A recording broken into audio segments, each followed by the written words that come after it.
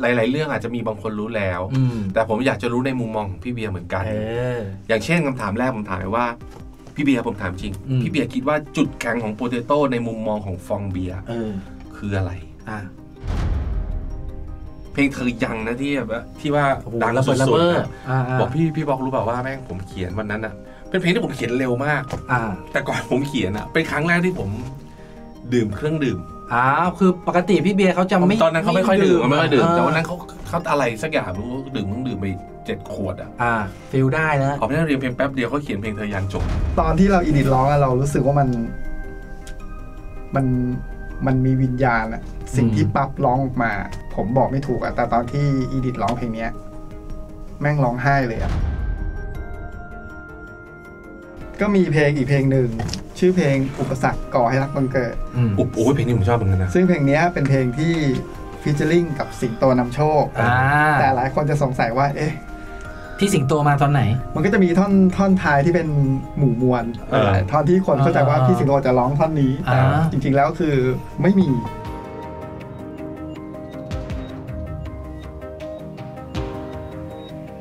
สวัสดีครับ วันนี้กลับมาพบกับ Pocket Book ครับบันทึกลับฉบับดนตรี ใช่ หน้านี้ก็เป็นหน้าที่พูดถึงและขอกันมา เยอะแยะมากมายเหมือนกัน ใช่ครับ แต่ก่อนจะไปถึงจุดนั้นพี่ป๊อกยังไง step เดิมเลย step เดิมเลยเหรอก็ไม่มีได้ไม่ได้มีอะไรมากนะครับ เป็นคำขอร้องเออจากผู้ชายสองคน ครับผม กดไลค์กดแชร์กดมาคอมเมนต์แล้วก็อืม กระดิ่งกิ้งกิ้งๆกันด้วยนะ ใช่ครับ เวลามี EP ใหม่มา เอมันอจะได้มันจะได้ เด้งลยเด้งได้เลย ใช่ ดูใน t ิ k t o k ก็ได้ ถ้าชอบแบบว่า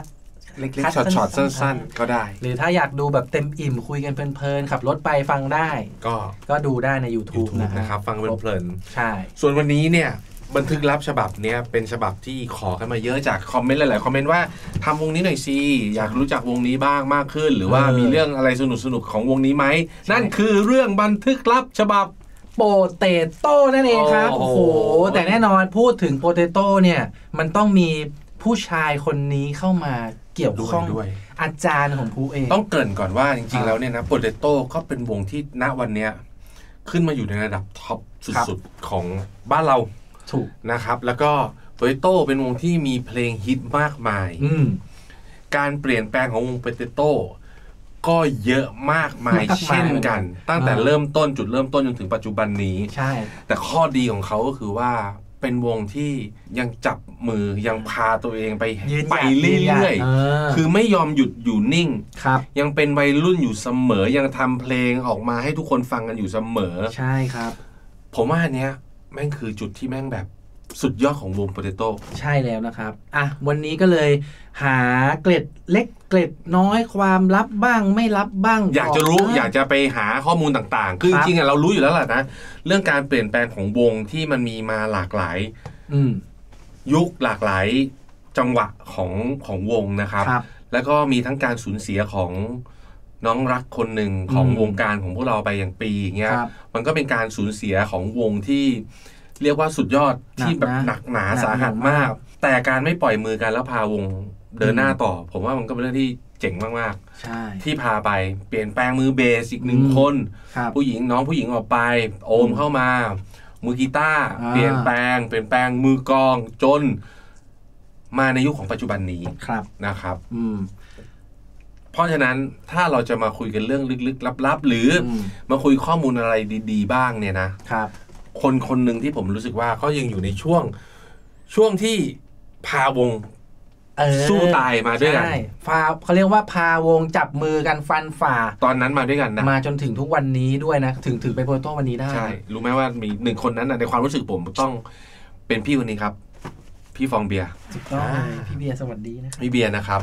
ซึ่งพอเรารู้ว่าเราจะได้ทำกับโปเตโต้ใช่ป่ะครับทำเรื่องเทปโปเตโต้แล้วก็เลยเอ๊ะอยากรู้เรื่องราวบางอย่าง หรืออยากจะมีคำถามถามเบียร์มาหน่อยนิดนึงว่าโอ้รู้สึกยังไงบ้างอะไรยังไงบ้าง เอาจริงๆนะ คุยถ้าพูดถึงโปรโตนะ หน้าพี่เบียร์จะลอยด้วยมาลอันนี้เราก็สำหบพูดเลยอันนี้เราก็ปฏิเสธไม่ได้เออจริงๆเพราะว่ามันเป็นอะไรที่เขาร่วมสร้างกันมาตอนแรกๆอะมันก็เลยมีคำถามมาอ่าแรกผมโทรไปหาพี่เบียร์ครับ ส่งพี่ป๊อกไปเลยพี่ป๊อกลุยเพราะว่าเลยมันก็เราก็สนิทสนมกันอ่าพี่เบียร์ผมขอคุยด้วยหน่อยดีกว่าครับเพราะว่าผมเนี่ย ทำพ็อกเก็ตบุ๊กใช่ไหมจ้ะ แล้วคราวเนี้ยผมกำลังอยากจะทำเรื่องเทปของโปเตโต้พอครับดีอืมแต่คราวนี้เนี่ย อืมผมจะมีแค่สามสี่คำถามเท่านั้นแหละอืมถามถามพี่เบียร์เพราะว่าผมว่าหลาย ๆ เรื่องอาจจะมีบางคนรู้แล้ว อืมแต่ผมอยากจะรู้ในมุมมองของพี่เบียร์เหมือนกัน เออ อย่างเช่นคำถามแรกผมถามไปว่า พี่เบียร์ผมถามจริง อืม พี่เบียร์คิดว่าจุดแข็งของโปเตโต้ในมุมมองของฟองเบียร์เออ คืออะไรอะ พี่เบียร์ตอบว่าอะไรพี่ คำตอบผมก็ตอนแรกผมก็ไม่ได้นึกว่ามันจะเป็น มันจะต้องเป็นอะไรที่สวยงามหน่อยนะมันไม่ได้ออกมาเป็นแบบนี้เช่นอาจจะเป็นจุดแข็งโปเตโต้น่าจะเป็นเรื่องของเพลงเรื่องของเพลงช้าเพลงเศร้าเพลงอะไรอ่าตอนแรกนึกว่าจะออกมาเป็นอ่าเป็นลักษณะแบบนี้อืมพี่เบียร์บอกว่าจุดแข็งก็คือว่า เป็นวงที่มันไม่มีอะไรจะเสียละย่าเออเออเป็นวงที่ตายไปก็เสมอตัวอ่าเพราะเบียร์บอกว่าความสูญเสียของวงเนี่ยเป็นเรื่องปกติอืมความเปลี่ยนแปลงเป็นเรื่องปกติ ในวันที่เบียร์เข้ามาทำนั่ง นั่งเป็น lyric produce วันนั้นเบียร์เองก็ไม่มีอะไร จะเสียเหมือนกัน คือเป็นช่วงที่ทั้งสองฝ่ายเนี่ยกำลังเริ่มต้นตอนนั้นตั้งเบียร์บอกว่าไข่ะไรบางอย่างโปเตโต้นะวันนั้นตอนนั้นอืมเหมือนที่ค่ายที่ตึกก็แทบจะไม่มีใครอ่าจะหยิบมาทำอะไรละครับมาเจอกับเบียร์ซึ่งตอนนั้นก็เขียนเพลงนั้นมีไปก็ไม่ได้ว่าอืมจะ success อะไรมากมาย คือด้วยอะด้วยความที่ว่าอะพี่เบียร์เนี่ยเข้ามาในอัลบั้มที่สองเนาะอ่าฮะแล้ว ต่อกับที่คำถามที่ที่พี่ป๊อกบอกไปว่า คือเหมือนจะไม่มีใครเออสองอยากจะสองทำแล้วคือสองคนเนี้ยสองกลุ่มเนี้ยไม่ว่าจะเป็นโปเตโต้เองหรือเบียร์เองเนี่ย ก็คือเรียกว่าตะค่อนตะแคนตะค่อนตะแคนคือด้วยความที่โปเตโต้เนี่ยคือเสียนักร้องนำไปด้วยมันด้วยยากมากเลยด้วยกับด้วยการที่จะแบบวงวงหนึ่งจะเปลี่ยนนักร้องอะไรอย่างเงี้ยถูเนาะกต้อง มันก็เลยเป็นที่มาว่าไม่มีอะไรจะเสียแล้ว เบียร์ก็เลยบอกว่าจุดแข็งของมันคือ ไม่มีอะไรเสียคือไงวะ ตายไปก็เสมอตัว เพราะฉะนั้นสิ่งที่มันเป็นจุดแข็งก็คือออืมการที่จะต้องทำเลยลุยกันไปก็คือทำเลยเบียร์ก็ไม่รู้จะทำไงก็ทำไงอ่าก็ทำเลยก็แค่ขอขอเอานะไปนะ ลุยเลยนะอ่าไปครับโอเคลุยครับ ไปลุยนี่แหละ มันเป็นจุดแข็ง อืมเป็นวงที่เขาเรียกว่าแข็งแกร่งอะ คือใช้คำว่ามีลูกบ้าในวันนั้น มันได้เอาไหมมันจะทำยังไงมันอะต้องแบบอะเอามันวะมันมันไม่ต้องคิดอะไรแล้วไงอ่าก็คือมันไม่มีอะไรที่มันจะต้อง ต้องเสียแล้วจริงอืมๆก็คือลุยอย่างเดียว จับมือกัน นี่แหละ ก็คือคำตอบของเบียร์พอเรามานั่งคิดว่าเออมันจริงเนาะเออการเปลี่ยนแปลงอะไรต่างๆ พวกเนี้ยอืมอย่างที่เราเกริดไปตอนตอนแรกไงครับว่าการเปลี่ยนแปลงของวงเขาเยอะอืมการสูญเสียเขามีอืมสุดท้าย การที่เราที่วงจับมือกันไปแล้วพยายามพากันไปอ่ามีฟองเบียร์มาเป็นเปรียบเสมือนเป็นหนึ่งในสมาชิกนะวันนั้นนะอ่าครับ มันลากกันมาจนมันสักเซสมากๆ จนถึงทุกวันนี้ไงคือเรื่องราวนี่คือจุดแข็งเจ๋งนะอ่าอ่าอ่านี่แหละครับคำถามที่สองผมถามว่า ผมอยากรู้อืมผมคุยไปเรื่อยเขาก็เล่าไปเรื่อยแล้วบอกมีความลับในห้องอัดอะไรบ้างวะเออความลับในห้องอัดในการอัดเสียงหรือการความลับของเพลงต่าง ๆ อะไรเงี้ยมีไหมอ่าครับ มีอันหนึงเขาบอกว่าแต่ว่าอันเนี้ยผมคิดว่าไม่รู้ว่าอาจจะมีใครเคยได้ยินหรือเปล่า อ่า เพลงเธอยังนะที่แบบว่าที่ว่าโอ้โหดังระสุเบิดระดเบ้อๆนะอ่าอ่าบอกพี่พี่บอกรู้เปล่าว่าแม่งผมเขียนวันนั้นอะเป็นเพลงที่ผมเขียนเร็วมาก อ่าแต่ก่อนผมเขียนอะเป็นครั้งแรกที่ผมดื่มเครื่องดื่ม อ้าวคือปกติพี่เบียร์เขาจะไม่ตอนนั้นเขาไม่ค่อยดื่มไม่ค่อยดื่มาแต่วันนั้นเขาเขาอะไรสักอย่างไม่รู้ดื่มเครื่องดื่มไปเจ็ดขวดอะอ่ายี่ห้อหนึ่งก็ทำให้อ่าเขาเกิดอาการ อ่าเกิดอาการมึนงงมีความรู้สึกมีความสุขเอออะไรสักอย่างไม่รู้อ่าก็ออกไปหน้าระเบียงฟิลได้แล้วออกไปหน้าระเบียงเพียงแป๊บเดียวเขาเขียนเพลงเธอยังจบอ่าแล้วเขากลับมา โดยที่ให้เด็กลากตัวกลับมา แล้วกลับมานั่งหน้ากระจกถามตัวเองว่าเมายังแล้วเพลงอะที่เขียนในแค่ช่วงเวลาเท่านั้นนะอ่าเป็นเพลงที่แม่งโคตรแปลว่าต้องเร็วมากนะ ผมคิดว่า พอสมองมันอ่ามันครีเอทีฟได้แล้วว่าครับกูจะเล่าเรื่องนี้อะไรอะ มันคงพลืดมาแบบแต่สุพี่เบียร์แกแม่นอยู่แล้วนะไอ้เรื่องแบบอย่างเงี้ยนะๆเขาบอกว่าประมาณในประมาณเจ็ดขวดได้หนึ่งเพลงอ่าวันเนี้ยผมเตรียมมาแล้วสิบสี่ขวดท้ายรถแบบไปไปหาพี่เบียร์อยากได้สักสองเพลงโอ้ยอะโอ้สุดยอดนะเออเออแต่คราวนี้มันไม่แค่นั้นนะอืมพี่เบียร์ก็ยังบอกว่า มันยังมีอัลบั้มหนึ่งกรองคุมอัดโดยใครรู้ไหมอะใครพี่พี่ต่อซีรีส์อีกแล้อ้าวพี่ต่อคือจริงๆนะพี่ต่อซีรีส์เนี่ยนะเขาอ่าค่อนข้างจะเข้าไปอยู่ใน ในบทบาทของกระบวนการทำเพลกระบวนการของหลายๆกรองอะวของกรองหลายๆวงเอาจริงวงซิลพี่ต่อก็เคยมาดีไซคุมน์แล้วมาให้หรอดูแล เพราะว่าอัลบั้มชุดนั้นอืมซิลไปทำงานที่ห้องอัดพี่ต่อพอดีอ่าครับก็ก็มี เล่นเอาไอ้เคนตาเหล่อย่างนี้ไม่ได้เว้ยเออพี่ไอ้เคนไอ้พี่เคนเคนว่าตีกี้ไม่ต้องถึงถึงแล้วก็ตาเหล่ตาเหลวงาน ก็คือมีอัลบั้มหนึ่งพี่ต่อคุมในชุดเธออย่างนี่แหละครับเออัลอบั้มพี่ต่ออ่าแต่ผมรู้มาคร่าวๆเล็กๆ ลึกๆ อีกนิดหนึ่งอ่าว่าว่า มันมีอะไรบางอย่างอืมต้องให้โปรดิวเซอร์เขาชุดเนี้ยอืมมานั่งคุย เพราะเมื่อกี้ที่เราคุยกันนอกรอบอะเขามีเรื่องแบบโอ้เยอะเรื่องแยะเยอะมากมายมากแล้วโปรดิวเซอร์เขาชุดนี้นะอ่าที่เขาทำนะเขาทำจนเพลงมัน success มากนะอ่าทำจนรถหายอะเงเฮ้ยยรถหายด้วยเหรอเออเอามาเลยเอางี้ผมว่าเดี๋ยวโปรดิวเซอร์ของโปเตโต้อ่าจริง ๆ ชุดแรกผมจำไม่ได้ว่าเขาเป็นใครนะครับ แล้วพอนั่นมาก็จะมีหั่งหนึ่งคนซึ่งตอนนี้อ่าเป็นมือกีตาร์ครับแล้วชุดเนี่ยเธออย่างก็จะเป็นชื่อว่าพี่โต ซึ่งอ่าพี่โตนี่ก็เป็นโปรดิวเซอร์ทำงานให้กับศิลปินในแกรมมี่เยอะมากมาย และชุดนี้ก็เป็นชุดที่อืมมีเรื่องราวสนุกๆเดี๋ยวจะมาเล่าให้ฟังถ้างั้นเออเชิญมาเลยดังนี้ได้ขอเชิญพี่โตหนะครับพี่โตมาเลยพี่ นี่พี่โตโปรดิวเซอร์ ชุดอัลบั้มเธอยังไอฮิวแมน Human ฮิวแมนฮิวแมนพี่พี่โตเข้ามาช่วง Human ใช่ไหมช่วงช่วง Human เพลงที่สองอ่าเพลงที่สองเพลงที่สามละอ่าก่อนหน้านั้นจะเป็นเพลงแรกเนี่ยเป็นอ่าเป็นห่างทอ๋อห่างทำก่อำนเป็นเพลงสุดท้ายที่ห่างทำก่อนที่จะออกจากวงอ่าอ่าแล้วก็เพลงที่สองเป็นไม่รู้จะอธิบายยังไง เป็นพี่พี่ต้น Silly Fools มาทอ๋อพี่ต้น Silly Fools ด้วยำโดยใช้ฉายาว่าปีเตอร์ออสอ่าที่ที่เขาเถียงกันว่าที่ใครเขาอัดบอกว่าโซโล่เปล่า ใครคือคน ใครคือปีเตอร์ออสก็คือพี่ต้น Silly Fools ตอนแรกที่เขาเอ๊ะหรือเป็นพี่โอ่งใช่ใช่ป่ะเพราะว่าชุดเนี้ยพี่โอ่งพี่โอ่มางมาเล่นมาเล่น backup ด้วย ใช่แต่สรุปแล้วเป็นเป็นพี่ต้น Silly Fools พี่ต้นมาเล่นให้นะครับโอ้โหผมเข้ามาก็คือเพลงเธออย่างเธอยังโอ้โหใช่ดังเปี้ยงสุดเอาแล้วก็นี่ไงที่พี่เบียร์เขาบอกว่าเออเนี่ยเขาเขียนเพลงนี้ได้รวดเร็วมาก แล้วเขาก็แบบคิดเลยว่าเพลงนี้แม่งต้อง success สุดเอา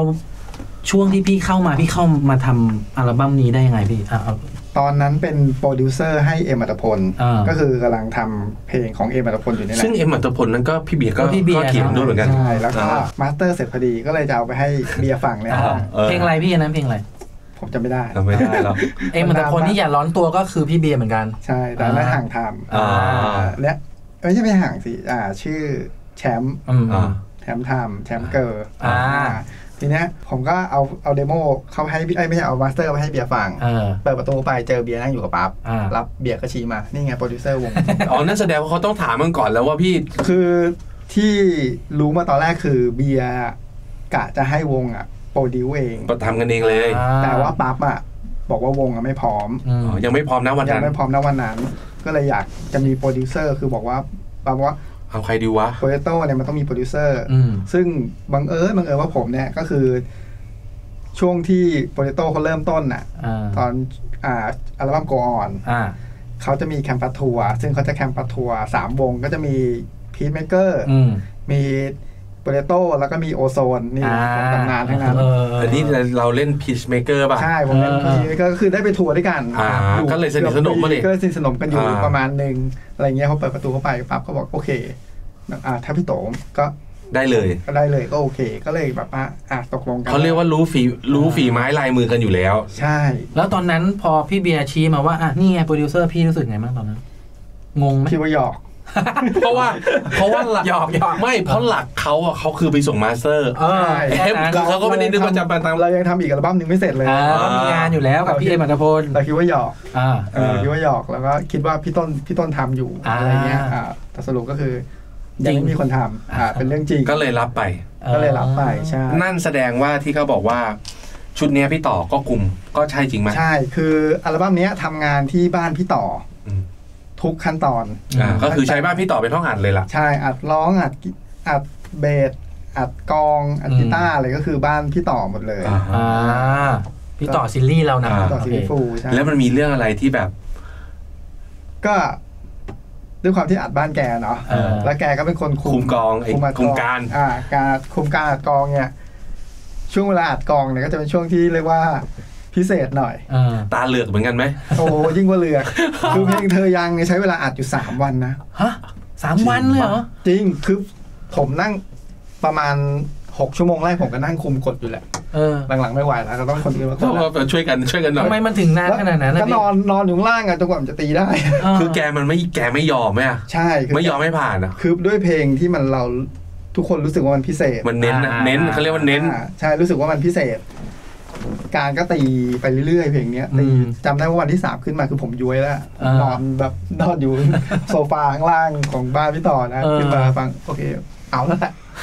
เออต้องเอาแล้วต้องได้แล้วเออเลยจนก็มันก็จะเป็นพี่ต่อเนี่ยคุมทุกเพลงอืมแต่มันจะมีเพลงหนึ่งที่พิเศษหน่อยก็คือเป็นเพลงที่ ด้วยความที่อัลบั้มเนี้ยผผมเข้ามากลางทางก็จะมีเพลงหนึ่งที่พล Clash arrange อ่าเป็นเป็น arranger แล้วเป็น produce ด้วยอ๋อโอเคอ่าแต่ว่าฝากผมเนี่ยต่ออ่า record ให้หน่อย ดูแลให้หน่อยในส่วนที่เหลืออะไรเงี้ยอ่าคุมร้องให้หน่อย อัดกลองอัดกีตาร์อะไรให้หน่อยอะไรเงี้ยครับเพลงเนี้ย พี่ต่อเขาดีไซน์ลายกองลายกลองเอาไว้ แล้วก็ให้การเนี่ยไปตีอ่าซึ่ง การเนี่ยตีไม่ได้อืมคือไม่ใช่ตีไม่ได้แต่ยังไม่เข้าใจมันเขาเรียกว่ายังไม่คล่องยังไม่คล่องหมายถึงพอพอเวลาพอมันไม่คล่องอะสำนงสำเนียงหรือล่วงรูปมันก็ยังไม่ไม่คมใช่อะไรทำนองนั้น ใช่แล้วก็พอการตีไม่คล่องเนี่ยมันผ่านไปสักประมาณชั่วโมงหนึงพี่ต่อเขาก็คงแบบไปเฮ้ตียตีมึงออกมาก่อนเดี๋ยวกูตีให้มึงดูอ่าตีตีอ๋อให้ดูตีโชว์ take หนึ่งอ่าประมาณนี้นะ ตีประมาณนี้เดี๋ยวตีให้ดู feel นี้มันต้อง feel นี้เออ snare ต้องลงแบบนี้อ่าอะแกเข้าไปปุ๊บตีอันนั้นคือทั้งเพลงหรือแค่ท่อนหนึ่ง ทั้งเพลง อ๋อ นั่นคือทั้งเพลง อ๋อ groove ทั้งหมดอะ มันใช่ควรจะเป็นแบบนี้ ใช่ แกเข้าไปตีให้ดูเสร็จ พอจังหวะที่แกตีเรากด record ไปพักหนึ่งก็นั่งอืมมองหน้ากับการ อันนี้แหละ สายสายก็คือเการก็คือเสนอขึ้นมาเองว่า เพลงนี้แหละ เพลงอะไรจำได้ไหมเอา take นี้ ก็คือเพลงที่พล Clash มา featuring featuring แล้วเขา produce ด้วยมชื่อเพลงสัญญาจะไม่ไปไหนวงเล็บจะไม่ไปไหนานั่นคือในอัลบั้มนี้ทั้งหมดอ่าพี่ต่อตีเพลงนี้อ่าใช่ ในอัลบั้ม Human อ๋อชื่อเพลงนี้สัญญาจะไม่ไปไหน ใช่ ไปลองแวะไปฟังกันได้โอ้โหเฮกเซอร์ไพรลายเซ็นพี่ต่อก็ถ้าอยู่ในนั้นอย่างที่พี่โตเล่าให้ฟังนะ สมมติถ้าเป็นวงผมเองนะ ถ้าอ่าพี่ต่อเขาไปลองเนี่ยผมก็จะกดอัดเลย เวลาถ้าแกลองก็กดอัดไปก่อนเลยใช่เออจะให้ตีให้ดูสัก สิบเพลง คือจิตเจตนาแกกะเข้าไปตีให้ดูเออว่ามันต้องอย่างแต่นี้เราอะแอบอัดไปแล้วแล้วก็เจตนาเขาเป็นอย่างนั้น เจตนาเราก็อีกแบบเหมือนกัน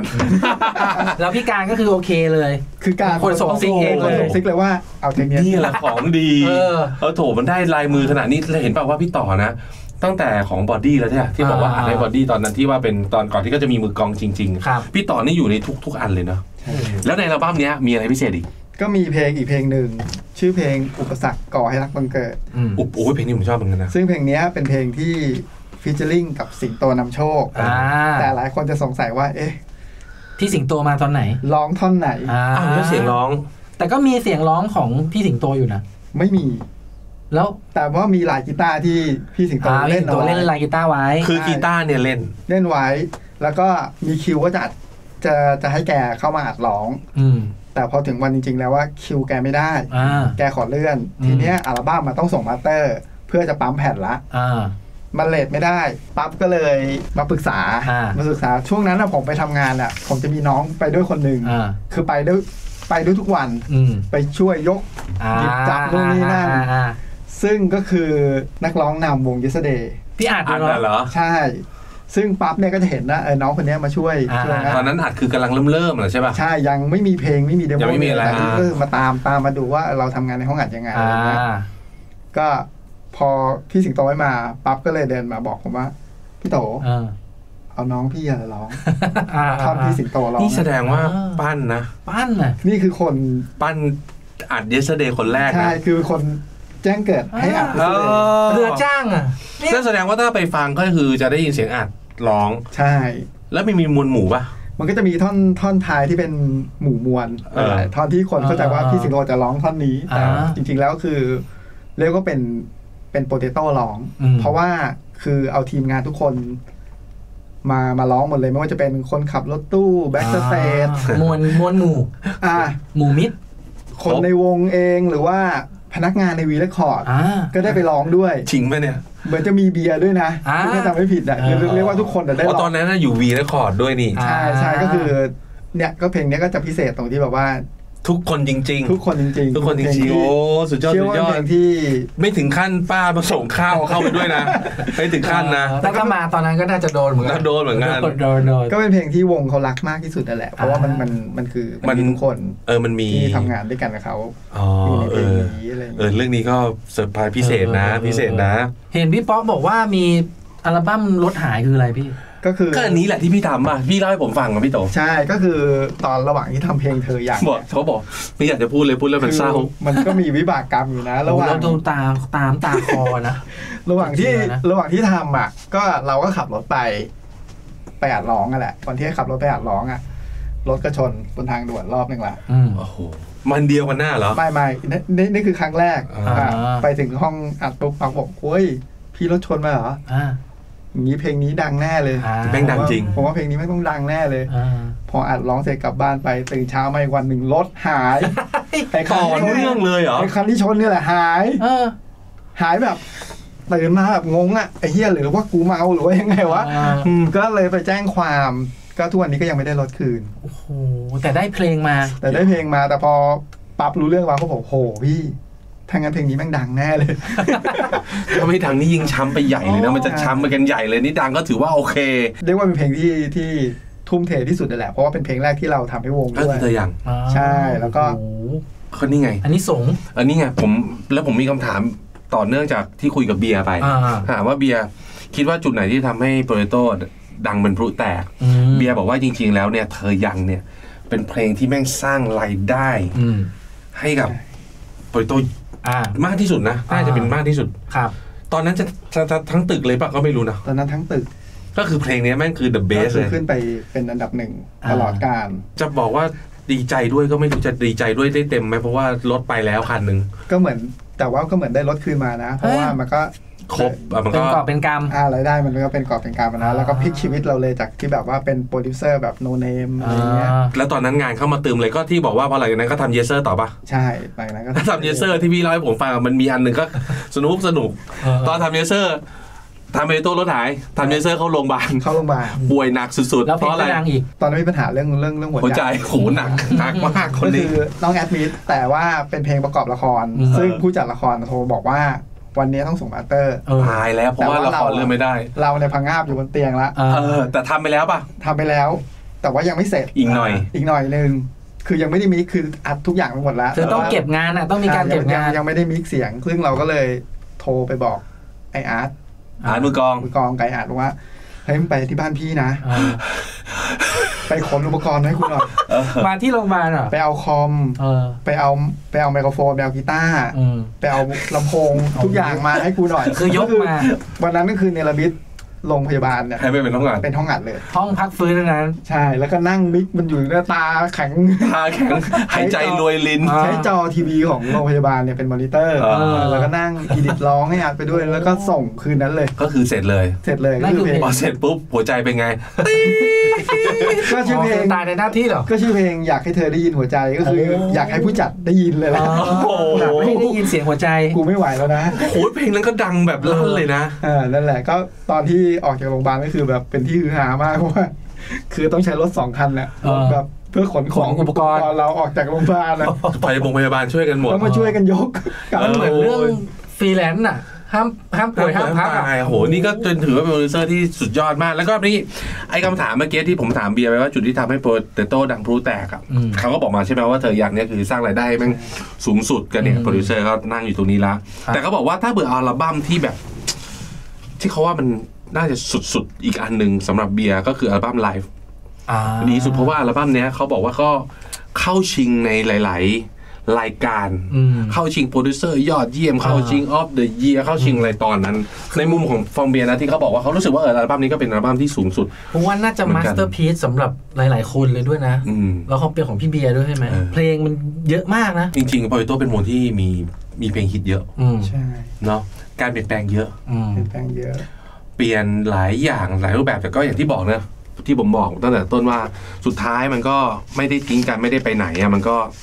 ตายไปก็เสมอตัว แต่ตอนตอนเนี้ยรอดขึ้นมาบนเหนือน้ำสบายแล้ว แล้วตอนนี้ปัจจุบันเนี้ยโปเตโต้ก็ produce เองแล้ว อ่าจะมีมีน้องถ้าผมจำไม่ผิดก็ชื่อเบนซ์อืมเป็น produce ร่วม produce ร่วมกันวง แล้วก็มีอีกคนหนึ่งนะ ชื่อ ชื่อกันก็เป็น produce ด้วยอีกคนหนึ่งคือณปัจจุบันเนี้ยเหรอณปัจจุบันอะแล้วห่างอะ ห่างก็เป็น produce ร่วมอ๋อ produce ร่วมก็คือทุกคนเขาเรียกว่าทุกคนช่วยกันทำงานอ่าคือมองมองว่าที่ห่างมา produce ร่วมเนี่ย เพราะว่าเวลาเราเป็น produce อะเราไม่ได้อยู่ในวงอะมันจะมองมุมมองอีกแบบหนึ่งอ่า แต่พอเราเข้าไปอยู่เป็นสมาชิกวงแล้วอะมันอีกแบบหนึ่ง มันอีกมุมมองหนึ่งมันจะไม่เห็น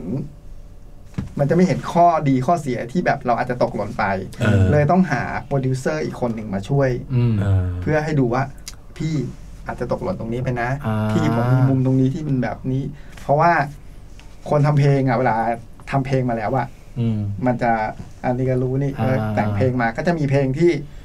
พอเขียนไปแล้วอะอืมมันเหมือนลูกเราอะอ่าเราก็จะมีความลำเอียงนิดนึงว่า คือมุมมุมมันอาจจะแบบหวงแหนบางอย่าง มันจะแคบกว่าการที่คนอื่นมองเข้ามาอะไรใช่อย่างเงี้แต่ยพอมีโปรดิวเซอร์ร่วมเนี่ยเขาจะมองอีกแบบหนึ่งว่าแบบเฮ้ยพี่ตรงนี้ตรงนี้เขาเห็นอีกด้านหนึ่งใช่นี่ผมว่า เป็นเป็นเรียกว่าผมว่าวงฉลาดที่เลือกทำแบบนี้ จะได้จะได้เขาเรียกว่าจะได้รสชาติและสีสันที่มันหลากหลาย มากกว่าที่เราอยู่ตรงนั้นแล้วก็เราเห็นแค่อ่าทางเดียวนี่ไงถึงบอกว่าสุดท้ายโปรโตก็ตอนนี้ก็ถือว่ามาอยู่ในระดับท็อปของประเทศอยู่แล้ว แล้วก็สร้างงานตอนนี้ก็มีงานพัฒนาใหม่ ๆ มาตลอดนะครับ แต่เรื่องที่ผ่านมาไม่ว่าจะเป็นเบียร์เองที่เข้ามาทำก็เข้มข้นพี่โตเองก็เข้มข้นพี่หังเองก็เข้มข้นอ มีเรื่องลับๆอะไรอีกไหมก็จะมีหลังจากนั้นก็จะเป็นเหมือนเพชรอมระอ่าทำต่อพี่โจแพนเค้กอ๋อใช่ก็จะเป็นโจมานั่งเขียนเพลงต่อด้วยอีกเอออ่านั่นก็นั่นก็สุดยอดเหมือนกันเออพี่โจก็จะเป็นทิ้งไว้กลางทางอ่าอ่าสุดยอดเพลงนี้ก็เข้มข้นอีกนะอ่าก็โหถือว่า แกก็เขาใช้คำว่าเลือก คัดสรรคนที่มาช่วยทำสร้างงานเพลงนี่คือแบบจิ๊ดจ้าดจัดจ้านทุกเพคนราะฉะนั้นต้องถามกลับไปว่าแล้วคนแล้วผู้ชมอะเออคนที่ดูอยู่เนี่ยชอบเพลงอะไรกันบ้างเออโดยตัวมันเพลงมีเพลงเยอะมากเลยมันหลากหลายมากเลยแต่ละคนชอบครับเพลงอะไรกันบ้างอะอืมเอาจริงนะผมจริง ๆ ชอบเพลงของโปรโตแทบจะทุกเพลงนะ เพลงที่มันฮิตออกมาเนี่ยมันเป็นเพลงที่สุดยอดอยู่แล้ว ถ้าตัวผมนะ ผมจำครั้งหนึ่งที่ วงซิลเคยไปเป็นเกสให้กับอ่าโปเตโตในคอนเสิร์ตอืมมันก็เลยทำให้เพลงนี้เป็นเพลงที่ผมรู้สึกว่า ถ้าให้เลือกวันนี้ผมจะเลือกเพลง Night Life ครับอ่าอ่าถ้าเธอไปดูในในคอนเสิร์ตมันจะมีการ battle กันระหว่างสองวง สนุกมาก คุณนะผู้ชอบเพลงแต่พูดไม่รู้ไม่แน่ใจชื่ออะที่มันแบบที่พี่เบียร์เขาเขียนว่าไฟห้องนอน มันสะท้อนแสงเงาสองเรานอนกอดกัน อันเนี้ยชื่อเพลงอะไรอารมณ์สีเทาป่ะเอออารมณ์สีเทาป่ะ เออใช่ใช่ป่ะคือเพลงเนี้ยลองไปฟังเนื้อเพลงเล่าเรื่องแบบ วันนี้ฉันอยู่ตรงนี้ไม่มีเธออยู่เออตรงนี้ไม่มีเธอเห็นอะอารมภาณ์พสีเทาภาพอะมันเห็นภาพทุกอย่างอยู่ในในเพลงเพลงเดียวเลยอะอ่าลองลองไปฟังดูนะครับอ่าอารมณ์สีเทานะน่าจะใช่นะ แล้วพี่โตในฐานะที่เป็นโปรดิวเซอร์มาหนึ่งอัลบั้มชอบเพลงอะไรถ้าถามผมก็แน่นอนผมชอบเธอยังสุดยอดอ่าอันนี้ก็ต้องตบมือให้เพราะว่ามัน success ทุกอย่างนะเออคือว่ามันเป็นเรียกว่าตั้งแต่ในชีวิตการทำงานที่ผ่านมา ยังไม่เคย edit ร้องเพลงไหนแล้วน้ำตาไหล เออ คือตอนที่เรา edit ร้องอะเรารู้สึกว่ามันมันมันมีวิญญาณอะสิ่งที่ปั๊บร้องออกมา อืม คือก่อนหน้านี้ผมทำบอย Peacemaker ผมทำเอตพลใช่ไหมอืมพวกนั้นเขาร้องเก่งอยู่แล้วเขาสื่อสารได้แบบ เข้มข้น อ่า เราเพลงไหนสื่อสารยังไงเขาเจาะตรงประเด็นอยู่แล้วอืม แต่ของปั๊บเนี่ยมันจะอีกแบบหนึ่งนะ ผมบอกไม่ถูกอะแต่ตอนที่ edit ร้องเพลงเนี้ย แม่งร้องไห้เลยอะแบบคือถึงนะรู้สึกว่าถึงรู้สึเนี่ยรู้สึกว่าไอ้เหี้ยแม่งคือ ใช่อะเออวันที่เราแบบนั่งอัดโซโล่เพลงเนี้ยอ่าแล้วเอาไปให้วงฟังวงบอกพี่ สุดยอดโซโล่หวานเจี๊ยบอ่าคือบอกว่าอัลบั้มเนี้ย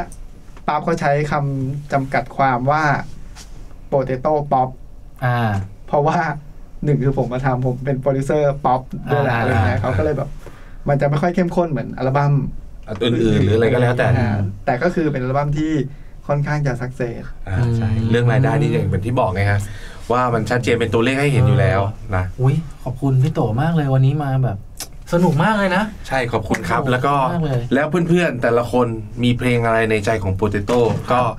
แชร์กันมาได้นะครับ วันนี้ขอบคุณพี่โตจริงๆนะครับ ครับ ขอบคุณครับ ขอบคุณพี่โตขอบคุณพี่ภูพี่ฟองเบียร์นะ ขอบคุณพี่ฟองเบียร์ครับสำหรับข้อมูลสนุกๆ แล้วก็ขอบคุณมากๆเนาะครับพี่ที่เราได้ร่วมจอยกัน แล้วก็ขอขอบคุณโปเตโต้ที่ครับให้เราพูดถึงเรื่องราวของพวกคุณนะครับครับผมสำหรับวันนี้บันทึกลับฉบับดนตรี ดนตรีบันทึกลับฉบับโปเตโต้อืม วันนี้ลาไปแต่เพียงเท่านี้ขอบคุณพี่โตจริงๆมานั่งครับเล่าเรื่องพิเศษพิเศษให้เราฟังนะครับ ส่วนครั้งหน้าจะเป็นเรื่องของใครติดตาม ใน Pocket Book ครับผม ครับ วันนี้บ๊ายไปบายแล้วครับ สวัสดีครับ ขอบคุณครับ พี่โตขอบคุณครับพี่โต